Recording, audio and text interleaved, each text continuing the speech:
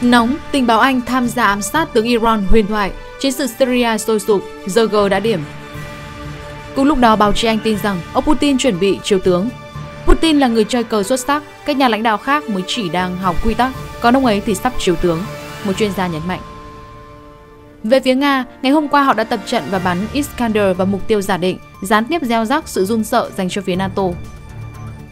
Ở phía bên kia đại dương thì phía Mỹ tin rằng họ có vũ khí đặc biệt giúp đánh bại Nga. Chào mừng quý vị và các bạn đang đến với bản tin thời sự quốc tế chiều ngày hôm nay của chúng tôi. Và sau đây là bản tin chi tiết. Tình báo Anh tham gia ám sát tướng Iran huyền thoại, chiến sự Syria sôi sục hơn bao giờ hết. Liệu GG đã điểm?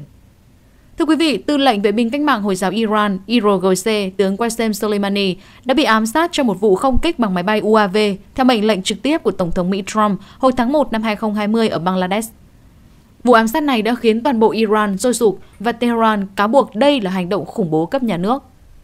Tờ The Guardian dẫn báo cáo điều tra của Bernabe Pace cho biết rằng tướng Qasem Soleimani đã bị ám sát nhờ sử dụng thông tin tình báo được cung cấp bởi căn cứ tình báo Manwich Hill của Anh nằm ở Yorkshire. Nghiên cứu cũng đặt ra câu hỏi, liệu có người Anh nào ở hiện trường liên quan tới vụ tập kích bằng UAV chết người đó hay không? Báo cáo cho biết về mặt kỹ thuật, Manwich Hill là một căn cứ của không quân Hoàng gia Anh RAF, nhưng nó cũng được vận hành bởi Cơ quan An ninh Quốc gia Mỹ NSA và tại đây có tới 600 binh sĩ Mỹ và 500 binh sĩ Anh. Chiến trường Syria đột ngột trở nên nóng bỏng. 72 giờ sau cuộc gặp giữa hai Tổng thống Nga Putin và Tổng thống Thổ Nhĩ Kỳ tại Moscow, chiến trường Syria đột ngột trở nên nóng bỏng. Quân đội Syria đồn trú tại các điểm chốt quan sát xung quanh đã nã đạn hạng nặng vào làng Al Samania trên vùng nông thôn phía tây Hama. Trong khi đó ở Nam Alis, pháo binh SAA cũng nã cối vào các thị trấn Al Farira và Falifers tại Jaban al Zawija. Đáng chú ý là vụ việc này xảy ra đồng thời với sự xuất hiện của máy bay trinh sát Nga trên vùng trời khu vực. Báo chí Anh tin rằng ông Putin đang chuẩn bị triều tướng. Theo bài báo của Daily Express, tình trạng thiếu khí đốt và mong muốn chuyển sang các nguồn năng lượng tái tạo đã đặt là Liên minh châu Âu vào tình thế nguy hiểm trong mùa đông này.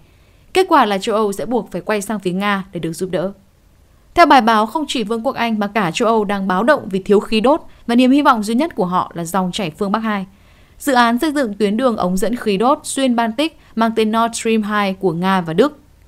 Nhiều độc giả phàn nàn, lẽ ra dự án dòng chảy phương Bắc 2 đã có thể cứu EU trong hoàn cảnh hiện tại và chỉ ra những trở ngại cho việc thực hiện ý tưởng này đều là do các nước châu Âu gây ra.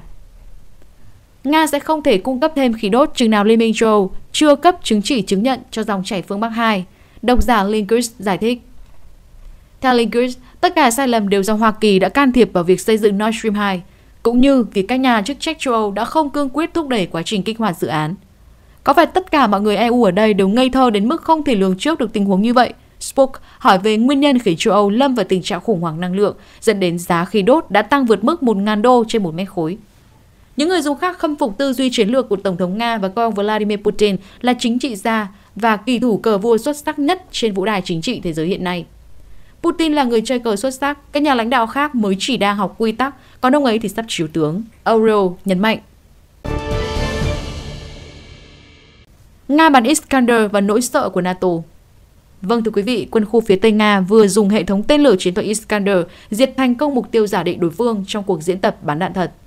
Thông báo của hạm đội Baltic Nga cho biết mục tiêu giả định bị tấn công là những căn cứ của kẻ thù. Cuộc diễn tập đã hoàn thành đúng như kế hoạch đề ra khi tất cả đã bị phá hủy. Hiện Mỹ và các bên liên quan trong khu vực vẫn chưa có phản ứng chính thức nào với cuộc diễn tập này của Nga, nhưng giới chuyên gia Mỹ tỏ ra khá lo lắng khi Iskander phóng sát sườn.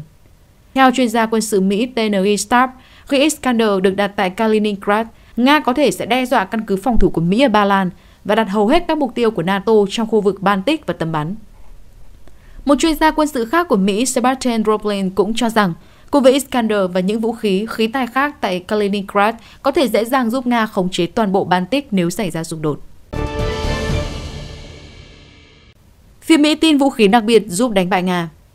Vâng thưa quý vị, tạp chí quân sự 1945 tin rằng pháo tự hành M109 Paladin của Mỹ có thể mang lại chiến thắng trước Nga trong trường hợp xảy ra chiến tranh quy mô lớn.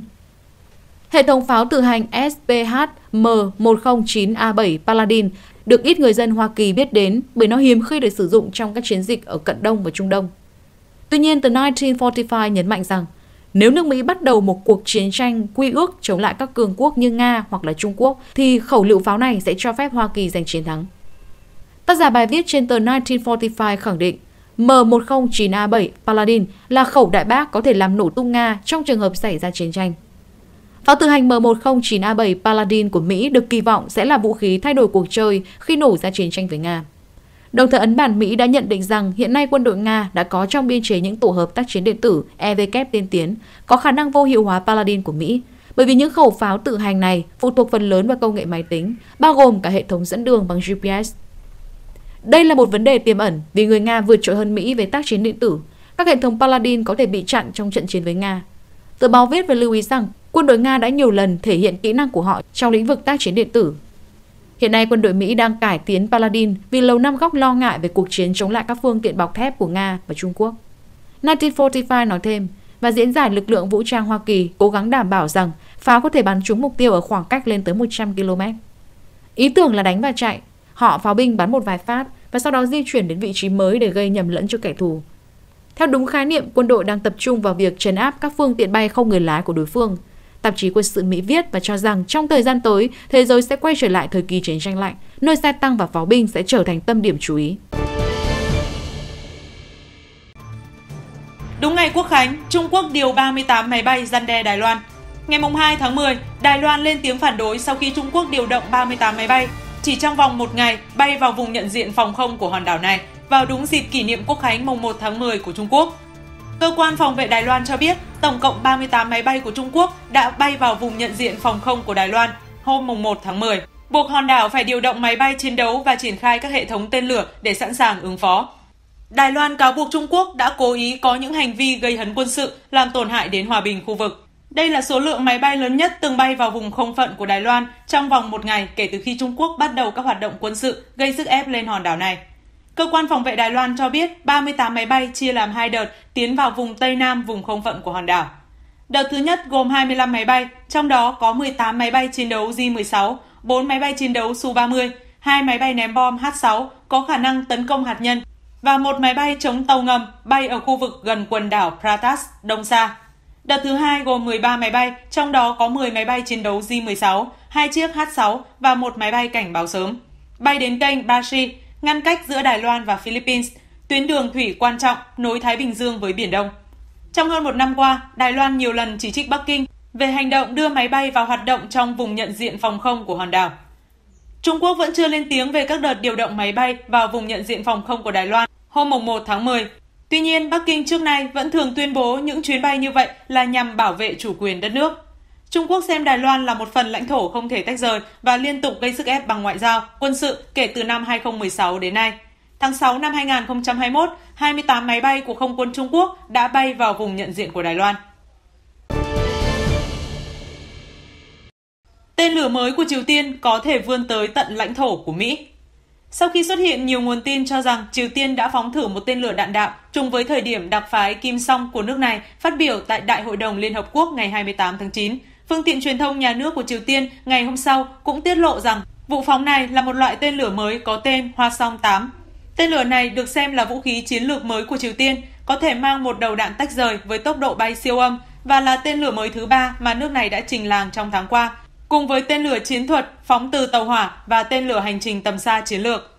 Tên lửa được phóng đã bay ở độ cao 60 km trước khi bắn trúng mục tiêu, cách đó chỉ có phạm vi dưới 200 km. Theo tính toán của các chuyên gia, điều này cho thấy rằng loại tên lửa này có thể có tầm bắn trên 1.000 km khi bắn theo quỹ đạo thông thường. Tên lửa Hoa Song 8 gần giống với DF-17 của Trung Quốc. Đây là loại tên lửa duy nhất thuộc loại này trên thế giới. Mặc dù kích thước của tên lửa mới của Triều Tiên vẫn đang được suy đoán. Nga cũng đang vận hành một loại vũ khí tương tự có phạm vi liên lục địa có tên là Anvagrad. Theo các chuyên gia, Phương tiện bay siêu thanh của Triều Tiên sử dụng tên lửa đẩy để tăng tốc độ, đạt đến độ cao và tốc độ cao hơn đáng kể so với tên lửa Avangard của Nga, trước khi tách ra và đi theo quỹ đạo bay trong khí quyển với mức độ cơ động rất cao. Những tên lửa như vậy được tối ưu hóa để né tránh hệ thống phòng không của đối phương và được coi là thách thức để các hệ thống phòng thủ có thể khóa chặt hoặc theo dõi chúng. Các phương tiện bay này khác với tên lửa hành trình siêu thanh khi có thể bay ở độ cao cao hơn trong suốt quỹ đạo của chúng và có khả năng cơ động cao. Việc Triều Tiên triển khai các tên lửa như vậy được cho là cơ sở quan trọng trong việc cho phép nước này chống lại các hệ thống phòng không hiện đại, cả trên tàu và trên bộ hiện đang được Mỹ sử dụng để bảo vệ các mục tiêu của trên khắp Đông Á. Việc phát triển các công nghệ như vậy cũng được nhấn mạnh trong một ưu tiên tại Đại hội Đảng Lao động Triều Tiên vào tháng 1 năm 2021. Mặc dù các tên lửa trước đó của Triều Tiên đã có kỹ thuật siêu thanh vì chúng vượt quá tốc độ Mach 5, nhưng độ tin cậy của các phương tiện này trong việc né tránh các hệ thống phòng không hiện đại vẫn còn hạn chế. Điều đáng chú ý là việc bố trí động cơ tên lửa Hoa Song 8 rất giống với tên lửa đạn đạo tầm trung Hoa Song 12 Guam Killer đã được Triều Tiên thử nghiệm nhiều lần vào năm 2017 và được đưa vào hoạt động trong năm đó, cho thấy cả hai có thể sử dụng cùng. Việc hai tên lửa có thể sử dụng cùng một loại động cơ là điều chưa từng có. Trước đó, trong giai đoạn đầu thử nghiệm tên lửa Avangard của Nga cũng từng được sử dụng từ tên lửa cũ UR-100 Nut-KH nhưng không đạt được hiệu quả. Theo các chuyên gia, điều này cũng chỉ có thể chỉ ra rằng Hoa Song 8 cũng sẽ chỉ có tầm bắn tương tự khoảng 6.000 km vì Hoa Song 12 cũng đã chứng minh tầm bắn ngắn hơn nhiều khi thử nghiệm lần đầu. Hiện tại những hệ thống phòng không hiện đại do Mỹ sản xuất tiếp tục gặp khó khăn ngay cả khi chống lại các thiết kế tên lửa đạn đạo tương đối cơ bản. Động thái mới của Triều Tiên nhằm hiện đại hóa khả năng tấn công bằng công nghệ siêu thanh sẽ là một phương án hiệu quả, đảm bảo khả năng gian đe của nước này đối với Mỹ trong thập kỷ tới. Ngoại trưởng Mỹ lên án vụ thử tên lửa của Triều Tiên. Ông Blinken khẳng định Bình Nhưỡng đã nhiều lần vi phạm các nghị quyết của Hội đồng Bảo an Liên Hợp Quốc cộng đồng quốc tế cần phải xem xét rất nghiêm túc những hành vi đầy tính thách thức này. Mỹ đã cùng với Anh và Pháp yêu cầu Hội đồng Bảo an Liên Hợp Quốc mở một phiên họp khẩn cấp để thảo luận về vấn đề Triều Tiên, nhưng cuộc họp đã bị hoãn lại. Vị Ngoại trưởng Mỹ nhấn mạnh Washington sẽ kêu gọi thế giới đưa ra quan điểm thống nhất trước các vụ phóng tên lửa của Bình Nhưỡng. Đồng thời, Mỹ sẽ hợp tác chặt chẽ với Hàn Quốc và Nhật Bản để giải quyết căng thẳng trên bán đảo Triều Tiên. Mỹ có tính toán mới nhằm gia tăng bảo vệ Đài Loan. Theo giới chuyên gia, Đài Loan có thể là nước hưởng lợi lớn từ hiệp ước an ninh mới giữa Úc, Mỹ và Anh, vì bất cứ xung đột nào nổ ra giữa Mỹ và Trung Quốc về hòn đảo này đều có thể liên quan đến hai đồng minh của Washington, theo nguồn tin cho hay. Theo tiến sĩ Caris Templeman, nhà nghiên cứu tại Viện Harvard của Đại học Stanford, những đồng minh đáng tin cậy này sẽ can dự ít nhiều nếu Mỹ phải can thiệp quân sự trong trường hợp đụng độ nổ ra ở eo biển. Đặc biệt, điều này là cần thiết bởi sức mạnh quân sự ngày càng gia tăng của đất nước tỷ dân. Quân đội Mỹ dường như không còn tự tin vào khả năng ngăn chặn Trung Quốc sáp nhập Đài Loan. Trong khi đó, Nhật Bản, một đồng minh của Mỹ có vị trí cận kề Đài Loan nhất, vẫn chưa sẵn sàng cho kịch bản xảy ra xung đột ở eo biển. Cụ thể, trong một bài bình luận đăng trên báo Sankei, cựu chỉ huy lực lượng phòng vệ Nhật Bản, ông Yoshikoda cho rằng giới chức ở Tokyo và người dân Nhật Bản vẫn chưa sẵn sàng cho tình huống tồi tệ trên, bởi vì đơn giản là họ cho rằng ý tưởng này quá sai lầm. Tuy vậy, ông Koda cũng cảnh báo rằng đất nước ông nên chuẩn bị cho viễn cảnh này, nếu không sẽ phải đối diện với những hậu quả tàn khốc. Ông Koda nhận định, vẫn chưa rõ ràng Trung Quốc sẽ theo đuổi con đường thống nhất bằng biện pháp quân sự. Tuy nhiên, không có lý do gì mà hoàn toàn nhắm mắt làm ngơ trước những điều có thể xảy ra. Chúng ta không nên quên rằng khả năng Trung Quốc sử dụng vũ lực để thống nhất Đài Loan là một trong những lựa chọn thuyết phục nhìn từ góc độ quân sự. Trích quan điểm của ông Koda trên nguồn tin. Còn nói về hai đồng minh khác của Mỹ là Úc và Vương quốc Anh, một mặt, nước Anh liên tục có những động thái làm nổi bật tầm quan trọng của chiến lược eo biển Đài Loan trong chính sách Ấn Độ Dương-Thái Bình Dương của Washington. Điển hình như việc cử kinh hạm HMS Richmond vượt qua eo biển Đài Loan hồi tuần trước. Theo Lulishi, cựu giảng viên tại Học viện Hải quân Đài Loan, so với Mỹ và Nhật Bản, quan hệ giữa Anh và Đài Loan là chưa có dấu hiệu gắn kết bằng. Do vậy, việc điều tàu HMS Richmond vượt qua biển Đài Loan càng trở nên quan trọng hơn bao giờ hết. Bên cạnh đó, việc này còn nhằm thể hiện cam kết chính trị của London đối với chính sách Đài Loan của Mỹ. Cuối cùng, nếu quý vị và các bạn thấy hay, hãy like và comment cũng như đăng ký kênh để theo dõi những video tiếp theo. Xin chào và hẹn gặp lại!